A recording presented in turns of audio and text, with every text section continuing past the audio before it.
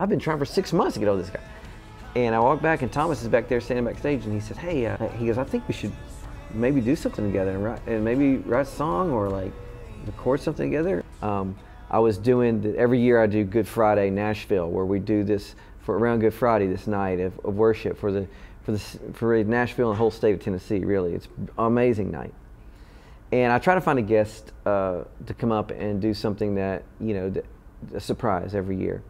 And this past year, um, 2019, because 2020 didn't happen, but 2019, I was, I was kept thinking about Thomas Rhett. Kept thinking about Thomas because I was, I, I've known, I didn't know him, but I knew about him. I knew about he's very vocal with his faith. I knew he does a lot for um, kids who in great need, and adoption, all kinds of things. I was like, this this guy's got a great heart, and I just know Nashville will freak out if he walks on stage and not, not knowing it, and we just start doing a song and I could not get a hold of him. His management was like steel traps. I could not because I, I, didn't know him.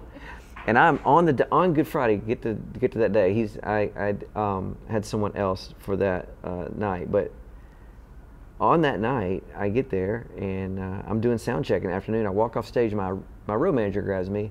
He said, "Hey, Thomas Rhett's backstage. He wants to talk to you." And I was, I was thinking, what? what? I've been trying for six months to get over this guy. And I walk back and Thomas is back there standing backstage and he said, "Hey." Uh, um, what if uh, he said, I just I'm rehearsing uh, down down the way here at the and the arena has a little rehearsal spot, and I heard your voice over the PA, and I thought, man, I want to come meet you, and I, your music has meant so much to me for so long, and uh, I was like, really? And he said, I said, you know, I've been trying to get a hold of you for a while to do this very night with me. And he's like, are you kidding me? I was like, no. And he's like, wow. He goes, I think we should maybe do something together and write and maybe write a song or like record something together. Maybe this is maybe we're meant to meet. And I was like, I think so. The next week he sends me "Be a Light," and mm-hmm. um, he said, I got this little idea.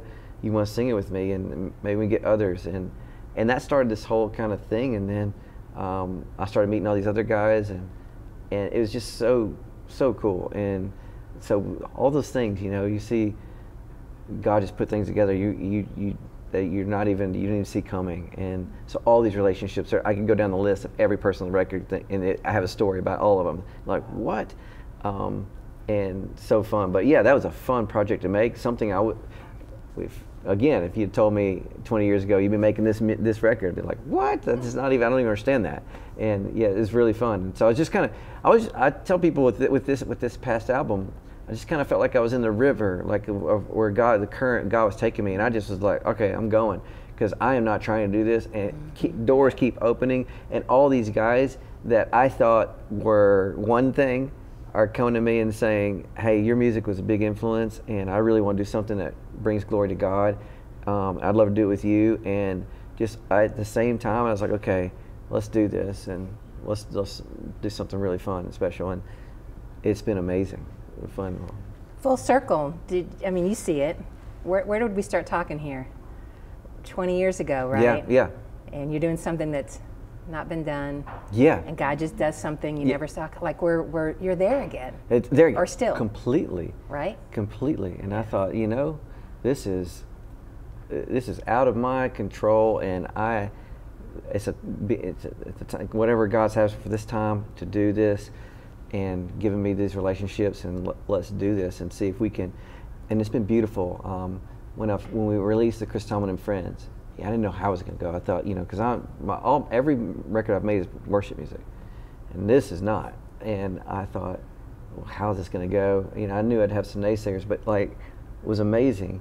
One of the first comments back to back was, I, somebody posted, um, I never have liked um, I, I, never have liked country music, so I didn't think I would like this.